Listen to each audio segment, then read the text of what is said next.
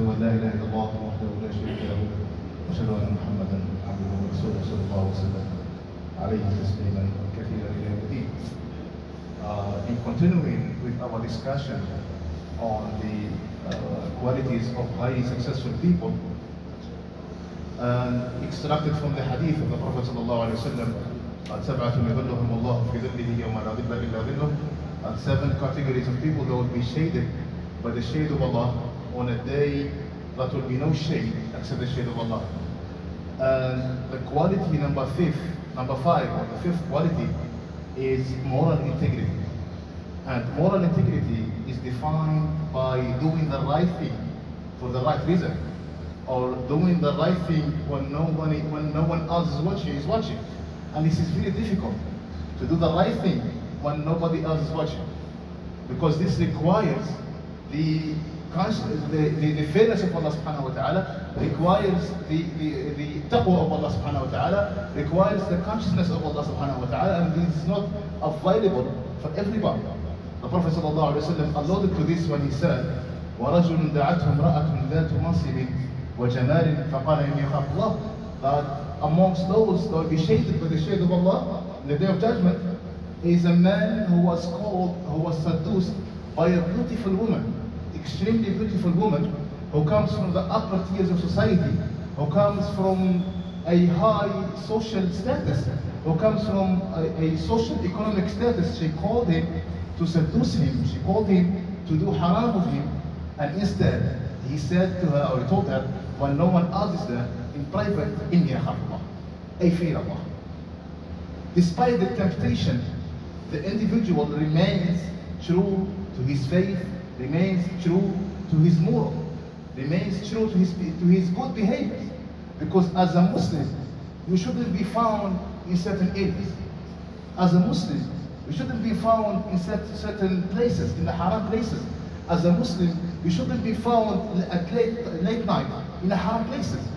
Because you have a, the Muslim is valuable. The Muslim, he has a statement in his heart which is so precious, so valuable, which is La ilaha illallah.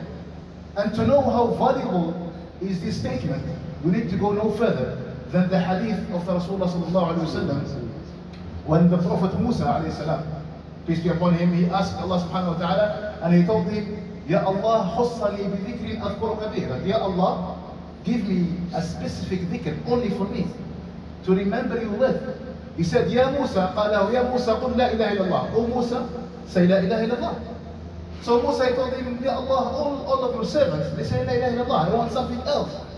He said, Ya Musa, لو أن السماوات السبع وعاملهن غيري والأراضين السبع في كفة ولا إله إلا الله في كفة لرجحت بهن لا إله إلا الله. He told him, Ya Musa, O Musa, if the seven heavens and what they contain, and the seven earth and what they contain on one side of the scale, and La ilaha illallah on the other side of the scale, La ilaha illallah it will be heavier than the rest. This is how valuable is the statement of La ilaha illallah. So the Muslim is also so valuable. Don't forget yourself, you are a Muslim. You are a Muslim, don't forget yourself. Even if you are in a non-Muslim country, but you are a Muslim, you have to stick to Islam. Don't forget yourself. And the moral integrity is a huge part in our deen, is a huge part in our religion as Muslims. And in the opposite of that is to sell yourself at the cheap price. Allah subhanahu wa ta'ala described Bani Israel. He said, بِئْسَ مَا اشْتَرَوْا بِهِ أَنفُسَهُمْ That how evil is it for a price that they, they sold themselves with. Selling yourself for a temporary gratification. Selling yourself for a, a, temporary um, satisfaction, selling yourself for the worldly gain. Sometimes even worse, selling your deen for the temporary gain, for the worldly gain.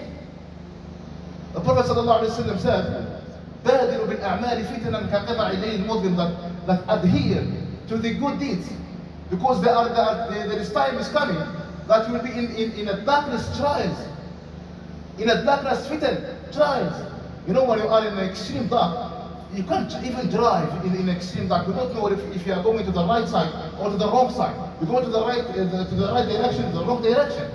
So the time that we are living in now is in ex- we are living in the extreme darkness.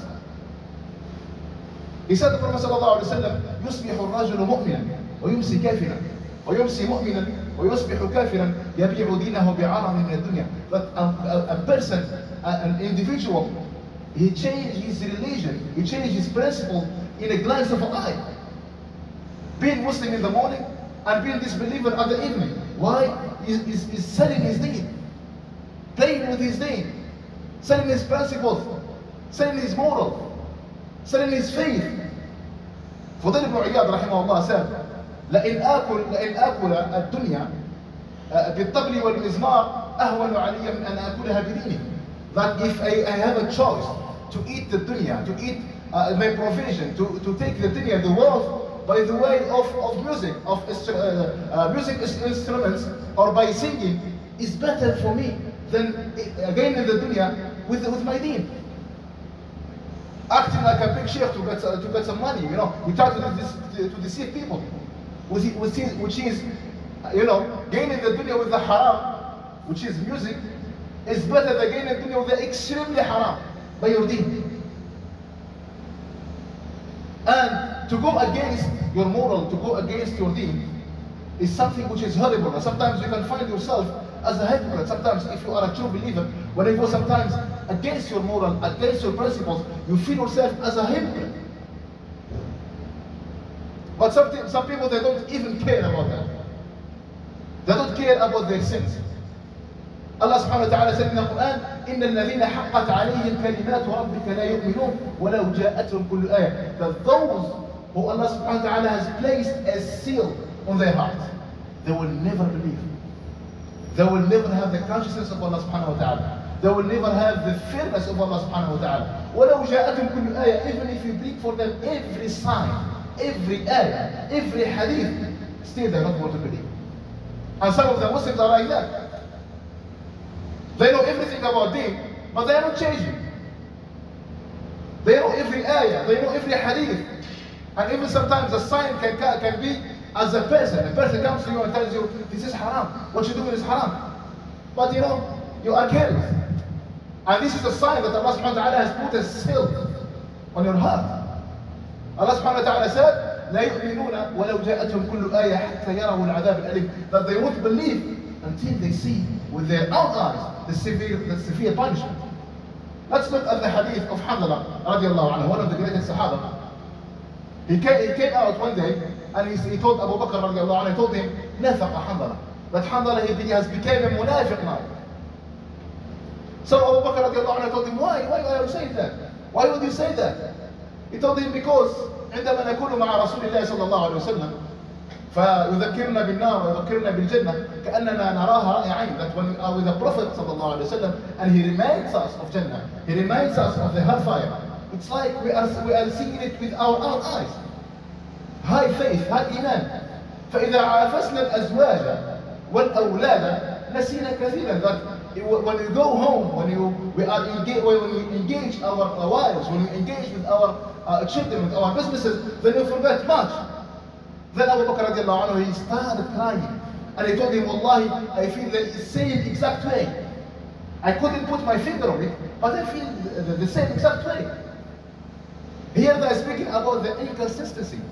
I'm not speaking about coming to Jumu'ah. Then when you leave Jumu'ah, you go back to your, to, to your, to your haram behavior.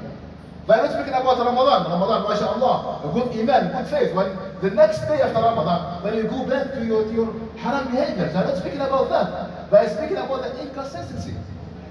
Feeling, you know, with the faith, with the high iman, when you are with the Prophet sallallahu alaihi wasallam, and then when they are out of the, of the presence of the Prophet sallallahu alaihi wasallam, they, you know, the iman increase and decrease as it comes in the hadith of the Prophet sallallahu alaihi wasallam. They're speaking about the inconsistency not being obedient to Allah subhanahu wa ta'ala, and then when you turn away, then you'll be disobedient to Allah. As the Prophet sallallahu alayhi wa sallam said, إن المؤمن لا يرى ذنبه كأنه جالس تحت جبل يوشك أن يقع عليه. That the believer he sees his, his sin as a mountain as he's sitting underneath the mountain or beneath the mountain, you know, it's about to, to topple overtop him. It's about to collapse on him because he's afraid of his sin. He can't sleep properly because he's afraid of his sin, what he has done. His, his heart responds. لا يرى ذنبه كأنه جالس تحت الجبل as he's sitting underneath he's looking at his sin like it's a big sin وإن المنافق لا يرى ذنبه كذباب حط على أنفه ثم أشار إليه فذهب that the wicked the منافق he sees his sin as a fly comes to his nose and you know motioning with, with his hair with his hands like this and it's done doesn't care about his sins backbiting people غيبة uh, nothing committing haram nothing taking people's rights nothing like a fly doesn't care about his sin the, the believer he, he sees his sin as a mountain but the munafiq the weak he sees his sin as a fly the flies when they come when, when they're hitting the, his nose they you know just motioning to them to, to get them away so this is very dangerous situation and even some people, they say, oh no, okay, we are Muslims only when we are in the mosque. We are Muslims when we are with the Muslims. When we are with, no, with, with the disbelievers, then we are, not, we are disbelievers. And you don't have the luxury to say so. You don't have the luxury to say that. Your life has to be, has to be centered around the, the, the commandments of Allah subhanahu wa ta'ala. Around Allah subhanahu wa ta'ala. Allah subhanahu wa ta'ala is your reference. Wherever you are. And those sometimes, some, some Muslims, they come to the masjid every day, you know, maintaining their, their, five times daily salah, but you see no changes in their life. They're still committing the immoral things. They're still committing a, a, a big, a major sins. And this is, there is a problem with their salah. Because Allah subhanahu wa ta'ala said, Inna salata tanha al munkar. The salah prevents from the immorality, prevents from the, the bad things. You have to review your iman, you have to review your salah. And those who say we are practicing Islam, please stop practicing Islam and live Islam. Islam has to be in your life. Not practicing Islam, going to the masjid, you know, five times there is salah, but you don't you don't know what you are doing. The salah didn't change you yet. And there is an example, when we are speaking about the moral integrity, there is an example of Yusuf alayhi salam which resembles the, the, the, the, the example of the Prophet sallallahu Yusuf alayhi salam, when he was seduced by Imra'atul Aziz, the wife of the Aziz. وغلقت الأبواب وقالت هيت لك. She locked up the doors firmly and she said, I'm here for you. What he, what he said, what he told her. قال معاذ الله إنه ربي أحسن مثواي. But no, God forbid. It is, it is my, it is your husband who raised me. It is your husband who raised me. I cannot do this. But in our time, how many times we are jumping in the DMs of a woman, a woman jumping in the DMs of, of a man, and you know, go to social media, you show like you are, you know, the most, the most righteous person on the earth. If our four walls of our DMs could speak, they will tell a different story, totally different story. If our cell phones could speak, they will tell different story. And there is no coincidence when the Prophet ﷺ said, those are from the people are going to be shaded with the shade of the throne of Allah subhanahu wa ta'ala because of the great child, great fitna. He said, the Prophet ﷺ, إِنَّ الدُّنْيَا حُلْوَةٌ خَضِرَةٌ إِنَّ الدُّنْيا حُلْوَةٌ خَضِرَةٌ That the, the world, the life is sweet and green. It's so sweet. Money is so sweet. It has been beautified, as Allah subhanahu wa ta'ala said in the Quran, زين للناس حب الشهوات من النساء والبنين. It has been beautified for men the, the appearance, the beauty of the world. إن الدنيا حلوة خضرة. It's so sweet. But you know what sweet stuff, what, when you eat sweets, when you eat something sweet, you know what it, what it, what it, what it did, what it do? And we get, we get, we will be sick. We get sickness. You will, will be having the teeth problems. You will be, um, you will have having a, a diabetes. You will be a diabetic. If you take a lot of sweets, so you don't have to go so deep in dunya. Just take what you want. Or take, take what you need. No, don't take what you want, but take what you need. In the dunya, حلوة خضرة. But the world, the life is sweet and green. And you know, it's green. And after the greenness, it will be yellow. So nothing stays fresh forever. Be humble. Nothing stays fresh forever. You will never be he- healthy forever. You will never be wealthy forever. You will never be rich forever. You will never be strong forever. Be humble.